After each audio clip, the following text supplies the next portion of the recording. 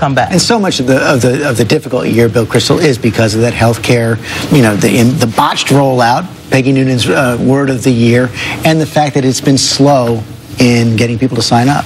Some of us think it's a botched law, and I would say it's maybe been politically the worst year of his presidency, but I actually think for the country the worst year of his presidency was 2010, and the worst day was March 23rd, 2010, when he signed the health care legislation and said, on the very day he signed it, I'd just like to remind people of this one more time. I said this once or twice, but it bears repeating. If you like your current insurance, you will keep your current insurance. Nobody is changing what you've got if you're happy with it. If you like your doctor, you'll be able to keep your doctor. He said that on the day he signed the law. It was false. And, you know, the worst thing in politics, you can get away with misleading people if the result is pretty good. You can get away with a bad result sometimes if people think you've been sincere and honest and trying to pursue a policy that you honestly felt was right. The combination of misleading and a bad result, and the results are going to keep getting worse incidentally for the next few months. I think that's devastating.